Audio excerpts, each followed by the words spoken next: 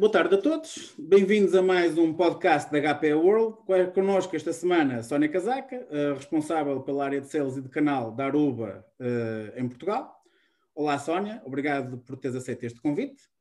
Boa tarde, Sérgio. Obrigado eu pelo convite e por estarmos aqui os dois nesta boa conversa. Exatamente.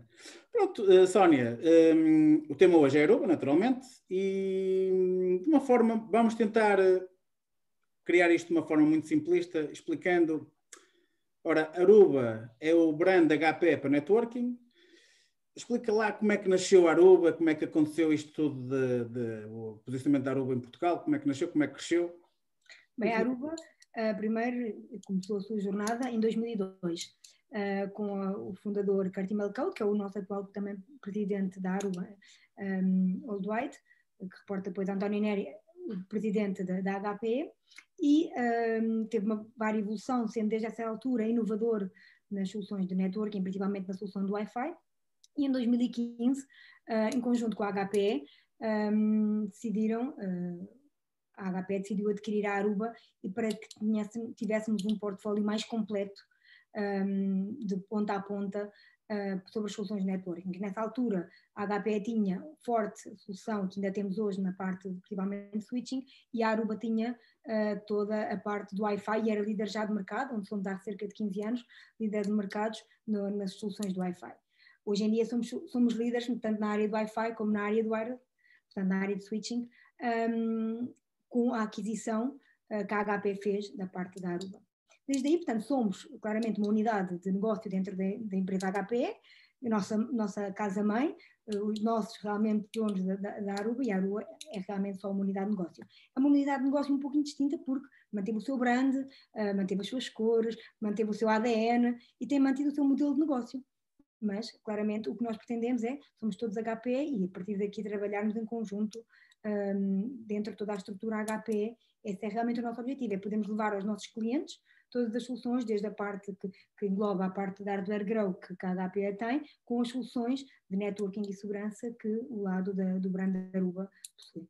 Portanto, este é realmente o, o percurso que existiu, tendo havido entre estes dois, desde 2002 que a Aruba existe e 2015 em que entra realmente no mundo HP, até aos dias de hoje, mantendo sempre a inovação, focada sempre no, no, no, cliente, na experiência que o cliente tem. Portanto, este tem sido realmente o percurso que a Aruba tem tido. Pego nessas palavras e faço uma pergunta diferente. Então, qual é o objetivo da, da Aruba a médio e longo prazo?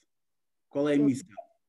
Portanto, o objetivo vai se manter e, e pretende se manter dentro da HP, portanto, é, é, senão não, não tinha, a HP não se tinha adquirido, mas mantemos com este modelo de negócio. Claramente são modelos de negócios distintos e daí manter-se sempre fiel aos seus princípios e ao seu, à sua experiência do utilizador, é sempre este o nosso, o nosso foco. Portanto, o objetivo é continuarmos a inovar, continuarmos a trazer novas soluções para o mercado, um, juntamente, tal e qual como, como o António Neri disse, há um ano atrás, dois anos atrás, porque isto com o tempo da, da pandemia já nos baralha um pouco, é uh, levar até ao, ao, próximo ano 2022, temos tudo num as a service, portanto, e tudo num modelo integrado. Portanto, este é, este é, é o objetivo e é o futuro que a Aruba tem, é de cloud, irmos para o mundo da cloud, temos todo o nosso todo o nosso portfólio, Aruba e todo o portfólio HP no mundo as a service, portanto, e este é claramente o futuro que nós vimos em conjunto dentro, do, dentro da HP.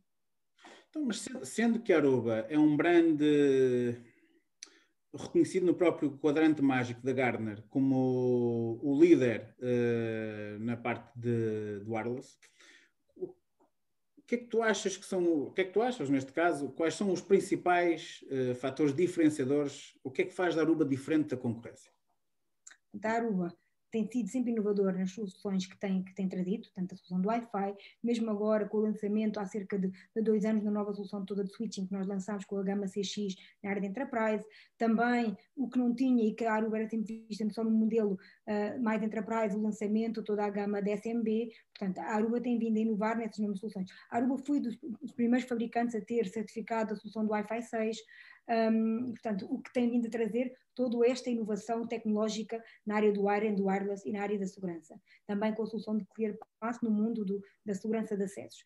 Há cerca de um ano também lançámos a nossa plataforma do Edge Service Platform, uma, uma plataforma integrada que vai desde toda a parte da infraestrutura, a parte da analítica, a parte da inteligência artificial, todas as nossas gamas de produtos novas têm, têm incluído a parte de inteligência artificial, o nosso Aruba Central, que é a nossa estrela de, das soluções para fazer toda a gestão de, das soluções de, de, da Aruba, com toda a parte do IOPS, portanto, toda esta, toda a solução, toda a inovação que a Aruba tem trazido, também aqui acompanhada sempre com toda a evolução que temos feito no restante portfólio HPE, é importante para o futuro e para o futuro das empresas. E nós vimos, uh, com o último ano, com a questão, por exemplo, da, da pandemia, que a transformação digital que nós esperávamos que fosse ao longo dos anos foi tudo num ano, portanto, houve aqui um boom e, e nós estávamos minimamente preparados, portanto, parece que coincidiu com, com as inovações que a Aruba tinha e que queria uh, trazer para o mercado uh, para, o mercado, portanto. Esta era, era esta realmente a facto de Aruba, ao contrário da concorrência, ter sido uma empresa que nasce logo praticamente desde, desde o início na cloud, não é? Ou seja, todo Sim. o trabalho, desenvolvimento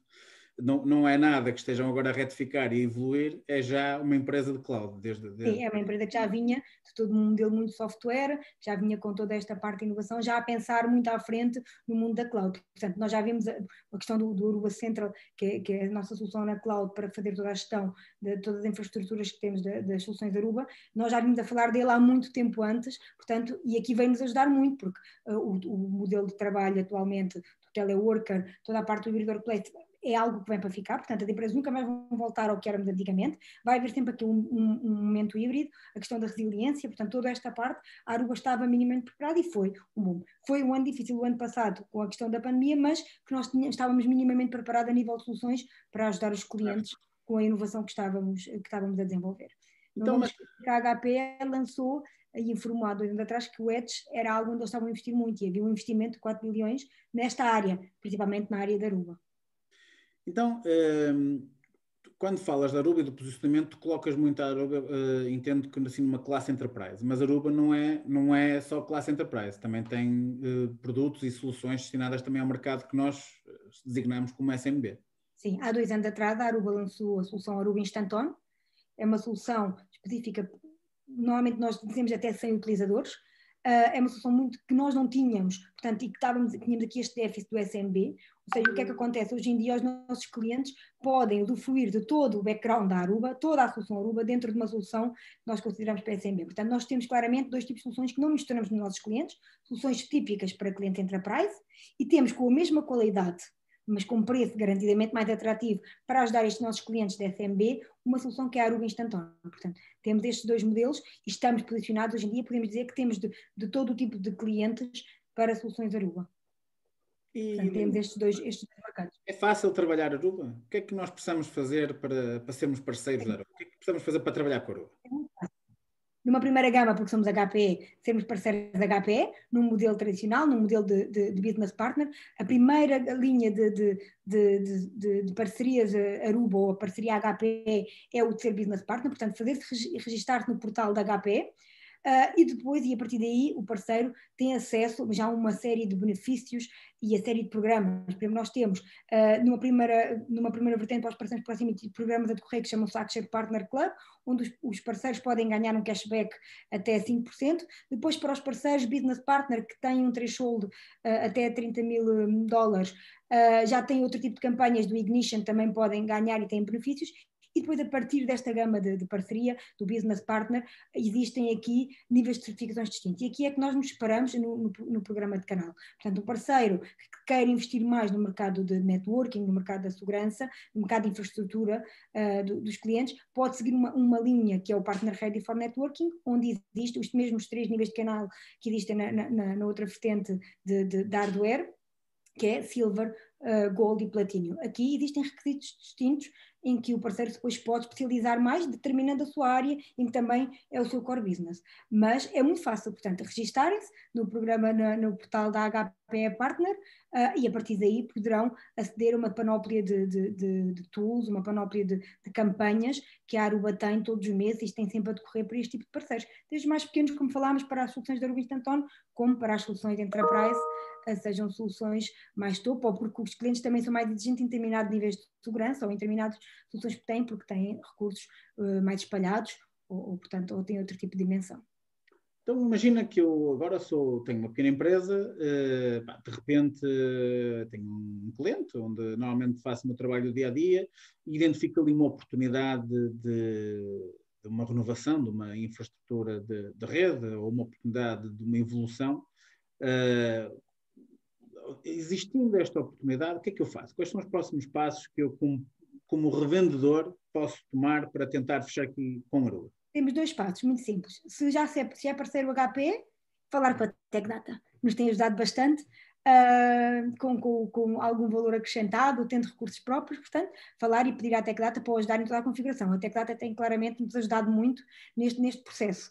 Uh, nós não somos muitos, portanto, e precisamos, neste mercado SMB que não estávamos até há dois anos atrás, uh, de, que nos ajudem nestas configurações. Portanto, e, a Tecdata tem esse tipo de recursos dedicados e que nos podem apoiar e podem apoiar os nossos parceiros. Portanto, em primeiro lugar, falar com, com, com a Tecdata, uh, que a Tecdata depois irá fazer uma interface connosco ou contactar connosco também diretamente e nós depois encaminharemos para, para a distribuição, mas para que possamos dimensionar realmente que tipo de solução é que necessita, para avaliarmos se é uma solução de SMB, se é uma solução de enterprise, perceber também se a conta desse cliente final onde ele está a trabalhar e onde precisa dessa ajuda está associada a algum sales rep, nós temos accounts especializados para a área da Aruba, portanto, e a partir daí, com a ajuda da pré-venda, ajudar-nos na configuração, colocar uma code no sistema, no iCode, que a TechData tem integrado e que muito bem também o sabe fazer, muitas vezes em on-behalf com os nossos parceiros, e uh, depois, a partir daí, definir pricing, targets, uh, contar com a nossa ajuda da TechData mais uma vez para a apresentação a esse cliente, uh, podermos, portanto, analisar que tipo de, de, solução o ideal e quais são realmente as necessidades. É muito importante avaliarmos quais são as necessidades concretas e, e específicas que esse cliente assim precisa, o que é que ele precisa, o que é que ele dá mais valor, se é uma solução que disponibiliza de uma experiência para o cliente, se é uma solução que ele precisa de dar conectividade aos seus colaboradores ou dar uh, até acessos remotos, se é conectividade entre vários escritórios, se é conectividade entre vários, nos vários países, porque até, apesar de serem pequeninos aqui, têm outra dimensão lá fora, portanto é sempre importante um, ehm, classificar bem o tipo de cliente, o que às vezes é um pequeno, pode não ser tão pequeno cliente, portanto, e o parceiro poderá contar com a ajuda tanto da distribuição como do, da, da própria Aruba para dimensionar uh, essa, essa, essa oportunidade que nos vai trazer. E com essa oportunidade, claramente irá ter todo o nosso suporte. Muito bem. Obrigado, Sónia, por, por, por teres aceito este convite para estarmos aqui um bocadinho à conversa sobre a Aruba. Uh, menciono apenas que todas estas tecnologias que a Sónia falava, de, desde o ClearPass, Aruba Central, uh, configuradores, uh, temos formações disponíveis no nosso canal de YouTube para poder apoiar os parceiros passo a passo sobre como justamente estas ações. E, Sónia, obrigado. Obrigado por esta oportunidade. Sempre precisarem uh, e sempre que acharem que é importante partilharmos isto com os nossos parceiros, vamos estar sempre disponíveis para vos ajudar. Obrigado nós por toda a ajuda que nos têm dado. Obrigado também aos parceiros. Até daqui a 15 dias. Até daqui a 15 dias. Beijinhos. Tchau, tchau. Obrigada a todos.